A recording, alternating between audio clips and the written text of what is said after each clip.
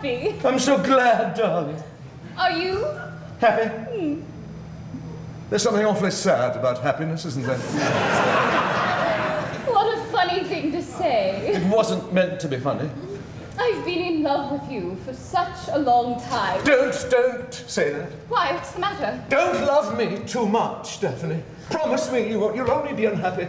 No good can come of loving anyone like me. I'm not worthy of it. Really, I'm not. You're more worthy of it than anyone in the world. Foolish child. I'm not a child. I'm 24.